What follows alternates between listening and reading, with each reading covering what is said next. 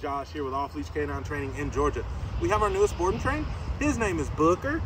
He is an eight month old lab. Owner's main complaint, so he likes to pull. He's very strong, so he pulls really hard. Um, he's inconsistent with a few of his commands that he already knows, like sit and down and things like that.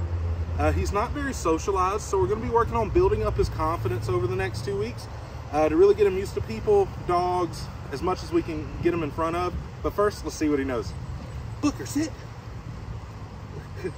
Booker, sit. Sit. No, what about down? Down. Booker, down. Down. I see that tail wagging. What about place? Booker, place? Booker, place? Place? Place?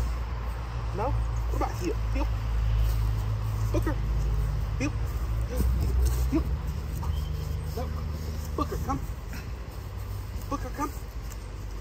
Come. Come. No. All right. Well, it looks like we got a little bit of work to do.